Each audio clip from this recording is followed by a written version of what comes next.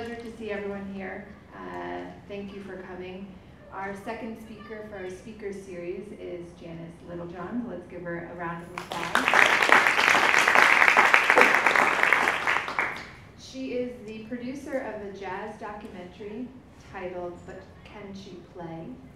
And today's talk will be a window into the lives and the music of some many talented jazz musicians, specifically women and the barriers or obstacles that they have faced over the arc of their career, and potentially some of the structural roadblocks that we have in place um, for them despite um, their natural given talent. So um, please feel free uh, to ask any questions. We will also be Skyping in a um, trombonist.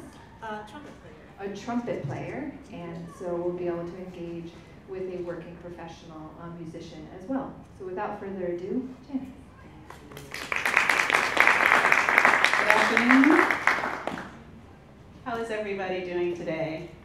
Good. How are you doing? I'm doing well, thank you. I want to first take this opportunity to thank all of you here at La Jolla Country Day School for making me feel so welcome while I'm here subbing for Amy Parrish. Um, it has been really delightful to be here and to be with your students. They're amazing young people, um, and I know that's all credited to you. And so um, it's been a, dear, a real pleasure. I'd also like to take an opportunity to thank Colleen for uh, making this available to me and um, being very excited about the topic. It's something that's very passionate to me and something that I wanted to talk to you guys a little bit about today. So I am the director and producer of a work in progress documentary called But Can She Play? which will center on the work, the music, and the activism of jazz women sax and brass players. Now, when I tell people I'm working on a documentary project about women sax and brass players, the first question I get is, well, are you a musician? No. The second question is then, well, why are you interested in doing a film about women horn players? That answer is a little more later. So let me take you back a few years. Actually, it's been about 10. And at that time, I was attending the University of Southern California and trying to decide on a topic for my thesis project. All I knew was that it was going to be fiction, and I was determined to become a novelist. By then, I had spent 22 years as an arts and entertainment journalist, and for nine of those years, I had been a freelance writer. And I wanted to switch gears. I wanted to write books and plays. I wanted to create art rather than report on someone else's. And as I was researching for some divine inspiration, or rather rummaging through some old file boxes and procrastinating on the task at hand, I came across a story I had written a few years earlier about the revitalization of Central Avenue and an interview I had done with a trumpet player named Clora Bryant. After workshopping a short story that I devised loosely based on Bryant, it was about a fictionalized female jazz player set in the 1940s during Los Angeles' jazz heyday, and my thesis topic became clear, and not just because I got an A on the short story. It was because my professor, who was also a noted novelist and historian in her own right, suggested that although I had written the piece well, this story about a woman trumpet player was too fantastical to be believed. She said, and I quote, that just didn't happen back then. Not only did it happen back then, but women instrumentalists have played key roles in the music from its inception. Now, while it's true that jazz as a musical genre was rooted in African American communities in New Orleans in the 19th and early 20th centuries, it was in 1930 that Los Angeles saxophonist, composer, and band clinician Catherine E. Thompson released The Ragtime Saxophonist under her initials K.E. Thompson, and it is the first published jazz method book used for saxophone. all-female jazz bands during the Second World War kept this country together and dancing while the men were off fighting. There were hundreds of women-led groups barnstorming the ballrooms, dance halls, and makeshift USO stages at home and abroad. John Coltrane could spend hours at home upstairs meditating, praying, and creating his masterwork, A Love Supreme, because his wife, pianist, harpist, and composer Alice Coltrane, was downstairs taking care of the children and supporting them with her art. Without pianist, composer, band leader Lil Hardin Armstrong, Louis Armstrong would have never ventured to center stage. There had, had there been no Mary Lou Williams, Dizzy Gillespie would have never found himself in the land of Oo-Bla-Dee. It was Mary Lou who wrote and composed his signature 1945 song. Trombonist Melba Liston not only mentored the likes of Quincy Jones, she played with the boys in the big bands from Gillespie to Count Basie, and she collaborated with Ray Charles and Joe Sample, and recorded with Dexter Gordon. And because the music was good, everybody could play. And yet the stories and contributions of these women have largely gone unsung. Why? Because it's men who have written the history, leaving women out not only in the literary canon, but out of the cinematic canons as well. And Ken Burns gives us a 10 episode documentary covering jazz from, the from 1970, 17 to 2001, and only one woman, Mary Lou Williams, is featured. So that's why I'm doing the documentary. and I'd like to take a quick moment to show you a little snippet from the work in progress reel I created a few years ago to showcase for grants and potential funders. There are so many women involved over the years in jazz that I hate to say neglected, but they just haven't stood in the forefront. Women are coming forward. They just deserve to have more spotlight than they're given. I really believe that women are really shut out uh, from jobs when it comes to jazz. So I'm here to support blind auditions. From most of the women jazz musicians I know, we really don't want to be considered female jazz musicians. We just want to be seen as musicians. It's not every day that every single person in the band is a woman. Brass instruments are not considered soft, and females are considered to be more soft and feminine. Being a female in jazz does not necessarily mean that you don't have to be feminine.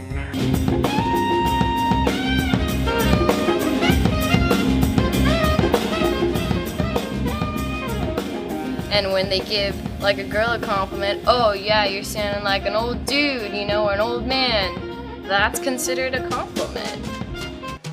I never realized that there was anything different being a woman playing trombone until probably college.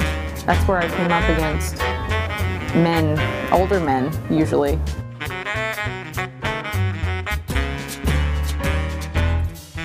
I didn't know girls played the trombone.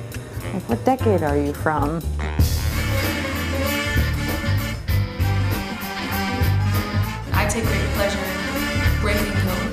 Boundaries and just showing the world a woman can be many things, not just uh, the roles that society kind of carves out for us.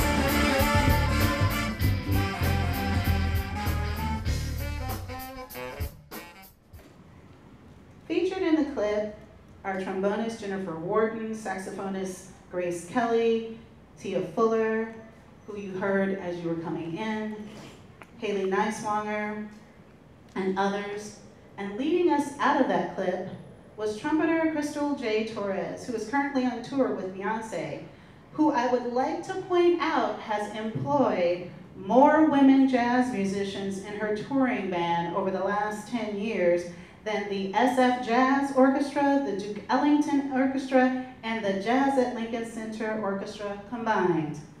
I'll get back to that. The title of this documentary which is also curious for some, is, but can she play? And it's an old refrain, but one that most mu women musicians, particularly women horn players, continue to hear when going out for gigs. It's, well, I know her daddy is one of the top drummers in the country, but can she play? It's, I hear she studied at Berklee, but can she play? Or my favorite, which was a riff embedded into the lead in and the title track of saxophonist Candy Dulfer's first CD, Saxuality. I know she looks good, but can she play? Even older are the stories of sexual harassment and rape among band members. It happened to Melba Liston, and it happened to Mary Lou Williams back in their day. About four years ago, I received an email from a female saxophone player describing the intense pain and despair she felt trying to survive in a misogynistic world of jazz. Two months later, she committed suicide. And in May of this year, Juilliard-trained trombonist Kalia, Kalia Van, Vandever wrote an article on her blog titled Token Girl, in which she describes not only sexual harassment and intimidation from musicians outside of and within her own band, but how she how her image was being used by the school's jazz studies program to create a sense of diversity, inclusion, and a safe space that didn't actually exist. So let's face it, the life of a jazz musician is challenging, and it can oftentimes be brutal. As a freelance ensemble-based industry, band members typically get their foot in the door by referrals through their buddies. There's rarely a formal hiring process in place or public postings for openings for the big band jobs or jazz ensembles. And considering the musical boys club that still persists around jazz, women are often not even considered, even by some female band members. While X and Y chromosomes have never determined the quality of a person's musicianship, the gender gap extends beyond the music, as mastheads of leading jazz magazines show less than 10% of jazz critics and journalists are women. And players' promotion and concerts and events hinge mostly on male-run booking agencies and jazz festival programmers. And yet, in kicking off the UNESCO's first International Jazz Day in April of 2017, Quincy Jones described jazz as the personification of transforming overwhelming, neg overwhelmingly negative circumstances into freedom, friendships, hope, and dignity. It's a nice, inclusive interpretation of the music, wouldn't you say? But as commercial business, jazz is among the most sexist sectors of the music industry. Now let's flip the script a little bit. Classical music. While it's not typically incubated in jazz's red light classrooms of clubs and bars, it provides an interesting counterpoint. In the 1970s, women accounted for less than 5% of classical musicians. Then, a musicians union instituted what they called blind auditions, which mandated that the identities of performance candidates be concealed from the jury in order to decrease bias, either conscious or unconscious. Today, 48% of symphony orchestras in metropolitan areas are women. In considering some of the most prominent jazz orchestras in the United States, like SF Jazz, or the Wynton Marsalis-led Jazz at Lincoln Center Orchestra, considered to be among the best paying gigs for an American jazz musician, has never once hired a permanent female member since it began 31 years ago. Now, there are efforts underway by jazz women and girls advocates a San Francisco nonprofit organization founded by Ellen Seeling. She's a professional trumpet player, educator, and band leader. And she's helping to institute blind audition policies throughout jazz orchestras. In fact, I was with Seeling in New York a few years ago when she made headlines, summoning hundreds of musicians and female-led band leaders to a stage outside of jazz at Lincoln Center during a high-ticketed donors gala to advocate for blind auditions. Now, this isn't a vendetta that women have against men, but rather a social justice issue by women who love jazz and want to help preserve the art form.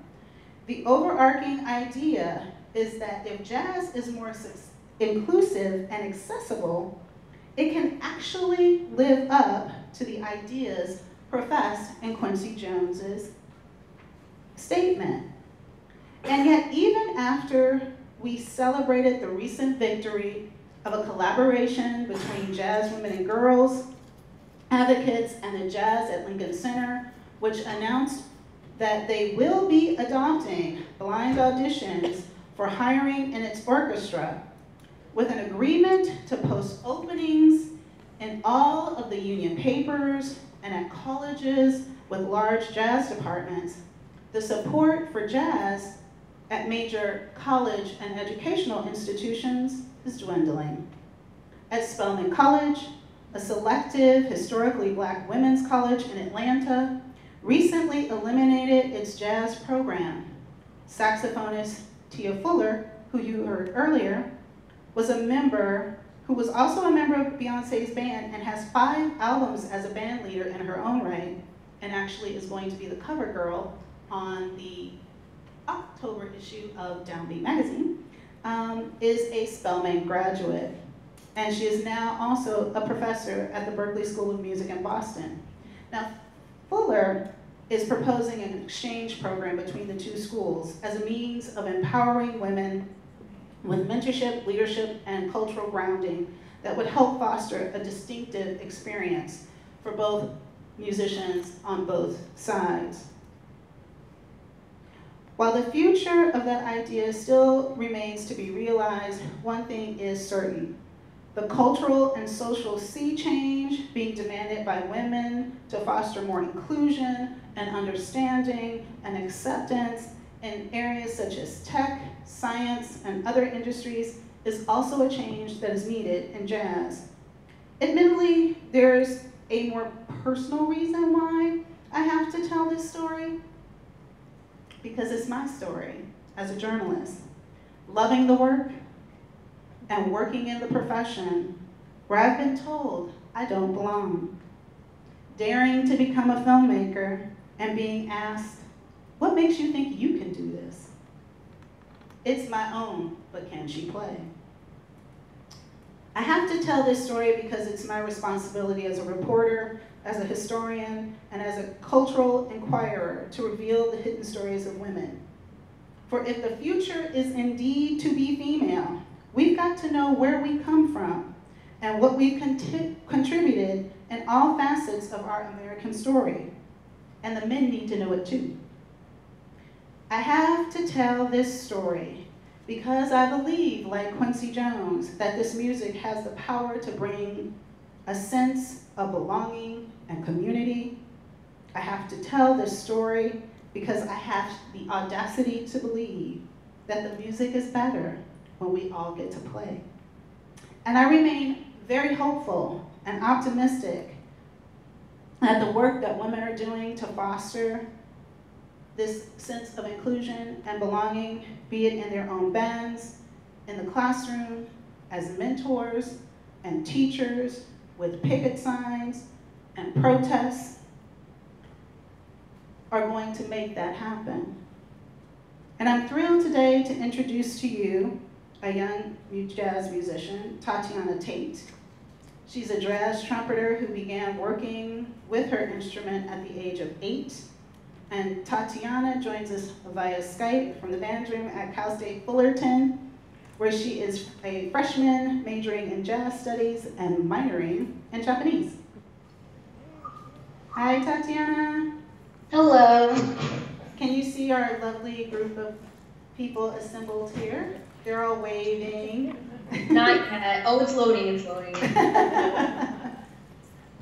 So Tatiana, I gave them a brief bio about you, but I was curious if you could talk to the audience about what spurred your interest in playing the trumpet. Um, well, what spurred my interest basically in music is my older brother. Um, he started off a drummer and all of a sudden he picked up the saxophone and I saw how like great he was at it and I, I, I don't know, I've always followed him in like everything he does. I followed him in sports, but I wasn't really great at it. And then I followed him to music, and I ended up loving it. Um, my first teacher, she was a uh, brass instructor, and her trumpet was her favorite instrument. And she gave a trumpet to me, and I just I fell in love with it ever since because I think the trumpet represents my personality really well. Sometimes I'm like outspoken, but I can be soft at the same time, and I feel like the trumpet is the best instrument that replicates that. So can you tell us a little bit about why you decided to stick with the instrument? Well, the reason why I decided to stick with trumpet, actually, I played multiple instruments. I played trombone, I played percussion, and I tried singing. Um, but one reason why the trumpet rings true to me, um, honestly, was because of my teacher. Um, she had passed away my sophomore year of high school, and that really took a big impact on me. And I know she put a lot of faith into me, and she taught me a lot more than I could ever, you know, repay her. So that's a main reason why I've stuck with it. I honestly kind of do it for her. Mm. So that's the main reason why I've stuck with it.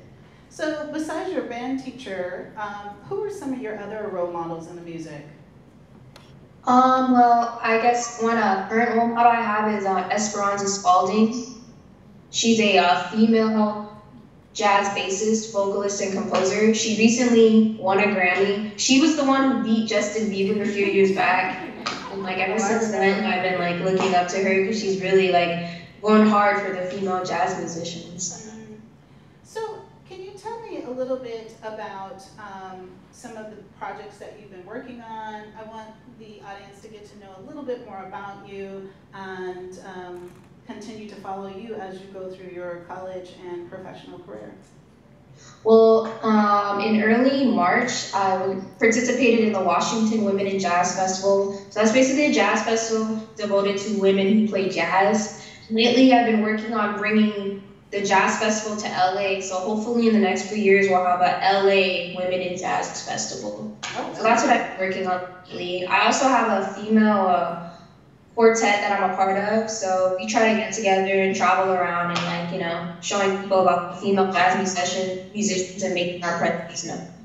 Is it unusual, you mentioned having um, your band teacher be a woman. Is it unusual to have a band teacher not only be woman, a woman, but a uh, brass player? It's honestly very common. I mean, within my own jazz program, I am one of two women, and I am the only brass playing female within my major, mm-hmm. within my jazz major. So it's it's not likely that you'll see most of us out there, but I'm trying to change the perspective of the instrument. I mean, I've been told growing up that the trumpet is a man's instrument, and I'm trying to change that stereotype. You recently, I saw on uh, on the internet that you had a picture with Clora Bryant, who was actually the reason I loosely got into all of this. Um, can you talk about what she means to you as a trumpeter and what kind of legacy she has uh, provided for you? I mean, honestly, it was great hearing about Clora Bryant. It all, me hearing about her all started from people saying, Have you heard of this female trumpet player? And I mean, there's not a lot of us around, and I eventually looked her up and I noticed she was one of like the first African American females to go overseas and travel the circuit as a musician. So she's a pioneer way before my time. She's worked with Dizzy Gillespie and some of the great musicians, and they don't teach that in my school. And luckily, uh, my father ended up connecting with her, and she was willing to talk to me, and I got to play for her and hopefully get some more mentoring from her. Well, um, would you mind playing a little something for us? Sure, okay. And what will you be playing for us today? Um, this is a jazz standard entitled There Will Never Be Another You, and it's by Warren. So I'll play like a melody, then I'll solo over it, then go back into it. So I hope you guys enjoy. You do your thing. Any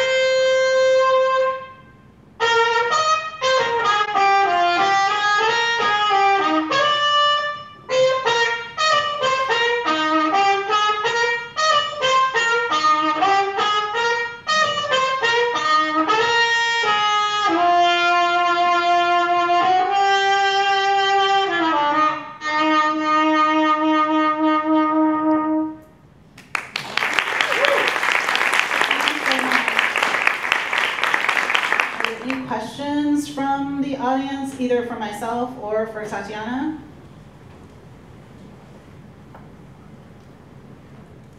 Tatiana, my name is Colleen. Um, you said something that really struck me.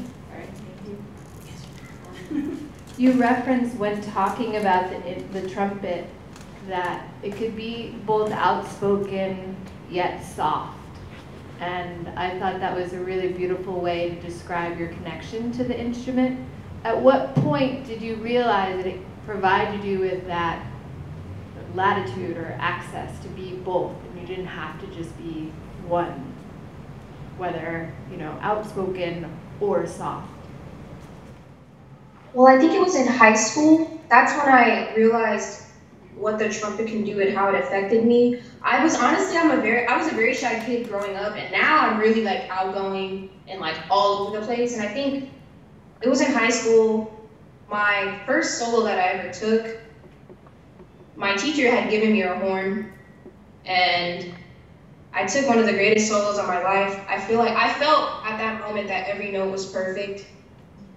And I think that's when I realized that the trumpet was for me. And in that solo, I realized that I could be whatever I wanted to be. I guess if that kind of answers your question. I think it was in those moments that that's when I realized the trumpet was for me. And that's when I realized I can be both bold and outspoken. Because because of playing the instrument, I gained enough confidence to take a solo. So that was my boldness. Wonderful, thank you. I can answer that.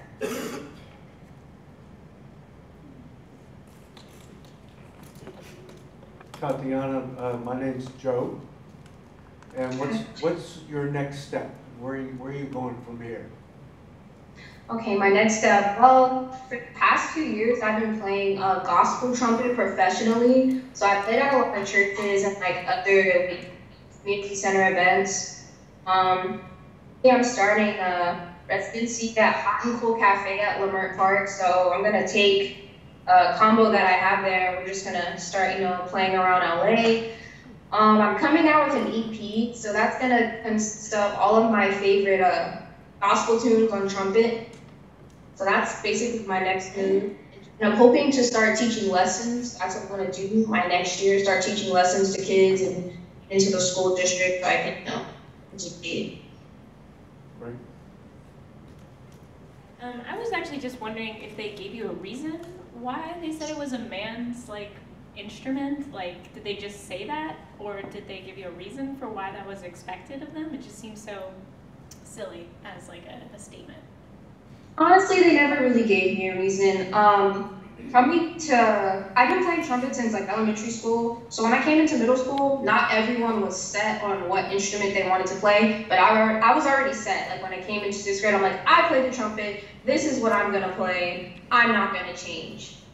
And I'm not sure why um, my instructor had said it. I don't know if it was to, I guess, discourage me from playing, but I am glad he said it. Every time I hear words of discouragement, it just only pushes me further. And I've heard words of discouragement my entire life. I mean, not only do I play brass instrument, I was a snare section leader, bass drum section leader. I was drum major in my high school. And it's like every time someone, people have always told me that I couldn't do these things. I was the first African American female drum major at my school. People told me it wouldn't be done, and I did. My senior year, I was the first female to win one of our music scholarships, and I did that too. So honestly, I'm not sure why he said it, but I'm glad that he said it. It's not very uncommon for um, for uh, instruments to be sexualized um, by gender. Uh, brass instruments and drum and bass tend to be uh, considered masculine instruments. They tend to be um, the ones that uh, boys are encouraged to play. Uh, and it is, it's, it's historic. It has, it, it has its roots in the music. Um, and so the fact that Tatiana is still hearing this um, is why we need to break, is really why I wanted to focus on this particular, this set of instruments. Yeah, and I guess I'll explain because I, in middle school, wanted to play the trumpet, and then I was actually told to play the flute instead because for some reason we needed another 14th flute player. so, but they never gave me an explanation why, and I'm so thankful that it turned out that way because I went into the arts and I love the arts and like it was like a huge turn. It's like I decided purposely to go into like process making because of that art, um, because I was forced to play the like the flute. So I guess it's like a weird pathway, but it made me like this lecture totally made me think back on my memory of middle school and just like what I had been given as like an instrument to play. So it was it was it's fascinating like that this was like thing. And some of the some of the challenges of uh, young girls matriculating into, and that's why Tatiana's story is really intriguing to me because she had a woman who was there to mentor and educate and guide her along. And it's one of those things that women, uh, young girls need is to have women as mentors and tutors and people that can empower them in the music. Um, and one of the great things about what Ellen Seeling is doing is that she has opened up a uh, camp for women and girls who want to play the music. And it is uh, led by uh, all women musicians because in a lot of the jazz camps, it's still predominantly male. And so I don't know why this still persists. Um, there have been, um, when I look back in history, one of the things Clora Bryant told me about uh, the trumpet and the trombone because it kind of puts a little cleft in your lip, a little indentation in your lip, that it wasn't considered sexy for women to have that little cleft in their lip. But guys have it, you know, so so it never made it never really made any logical sense to me, but it definitely is a stereotype that still persists. Uh, what do you think are the next steps um, uh, to increase the gender parity in, in jazz music as you see it? Hmm, The next steps, I mean, I'm taking a step personally. Like, I looked at my director and I'm like, okay, why aren't there any more women in here? And honestly, I'm trying to start going to like different school districts. That's my goal to like be able to like go to different school districts and do what I'm doing now, play uh, for kids, and lecture them and let them know like this instrument is okay for anybody to play. Because honestly, the sexism goes both ways. I know that a lot of my friends at school, males who play flute, are told, oh, you know, you should be playing that instrument. But luckily, one thing that I do notice is once you get to the college level, like where I'm at now, it's kind of like everything goes. No one really cares who you are, what you look like, or what you play, just as long as you sound good and you make everyone else sound good. So my next steps are just to educate, you know, people, just educate everyone. Hi there. I'm actually I'm I'm the middle school band director here, and I want to echo a lot of the things that you've seen and heard. Um, our classes are um, highly divided by gender. I have a lot of the boys in my room, and we have a lot of the girls in the strings. Um, so I want to commend you for the work that you're doing, and um, you know we'll keep fighting the good fight. I'm also a brass player, so I'm excited to hear you and um, just encourage you on your way. Um, you're always welcome if you want to come down and uh, come sit in on the jazz band here. We'd love to have you. So Yes, yes, come on down. We'd love to. So just, um, I don't have a question for you. I just want to encourage you to keep doing what you're doing. You're doing a great job.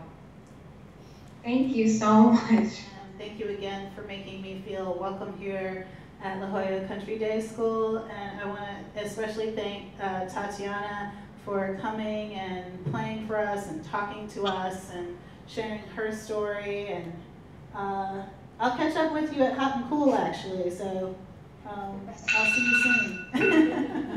That's my alarm because I have class. I'm like, oh, it's okay.